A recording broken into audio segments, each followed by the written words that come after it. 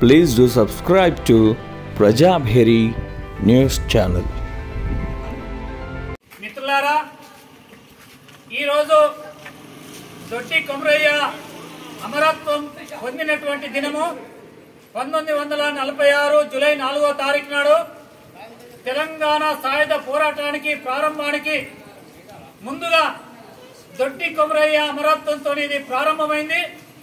ఆనాటి నైజాం దేశ్ముఖ్ల రజాకర్ల ఆగడాలకు వ్యతిరేకంగా ముఖ్యంగా ఆ రోజు గ్రామాలలో ఉన్నటువంటి భూస్వాములు పెత్తందారులు పటేల్ పట్వారీలు ఆ రోజు వ్యవసాయం చేస్తున్నటువంటి కూలీ పని చేస్తున్నటువంటి ఎవరైతే రైతులు ఉన్నారో రైతుల పైన చేసినటువంటి దౌర్జన్యాలు ఆగడాలకు వ్యతిరేకంగా గుత్పల సంఘం పెట్టి కమ్యూనిస్టు పార్టీ ఆధ్వర్యంలో గుత్పల సంఘం పెట్టి పోరాటం చేసి ఆ రోజు చేస్తున్న క్రమంలో విష్ణూరు దేశ్ముఖ్ అనేటటువంటి ఆయన కడివెండి గ్రామంలో గుత్పల సంఘంతో ఒక ర్యాలీ ప్రదర్శన చేస్తుంటే వాళ్ళపైన కాల్పులు జరిపి కాల్పులు జరిపితే దొడ్డి కొమరయ్య అక్కడికక్కడే అమరుడైండు.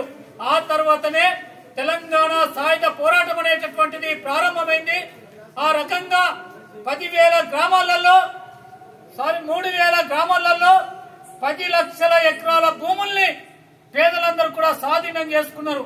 అట్లా పోరాడి ఆ రోజు పేదల సమస్యల పరిష్కారం కోసం ఈ ఆగడాలకు వ్యతిరేకంగా జరిపినటువంటి పోరాటం దాంట్లో అమరుడైన ఆయన అమరత్వాన్ని స్మరించుకుంటూ ఈ రోజు సిపిఐఎంఎల్ ప్రజాపంత పార్టీ ఆధ్వర్యంలో ఆయన సంస్మరణ సభని మేము నిర్వహిస్తున్నాం. ఆయన స్ఫూర్తితోని ఈ రోజు దేశంలో కొనసాగుతున్నటువంటి కార్పొరేటీకరణకు వ్యతిరేకంగా ప్రజా వ్యతిరేక విధానాలకు వ్యతిరేకంగా పోరాటం చేయాలని చెప్పి సిపిఐ ఎంఎల్ ప్రజాపంత పార్టీ పిలుపునిస్తున్నది.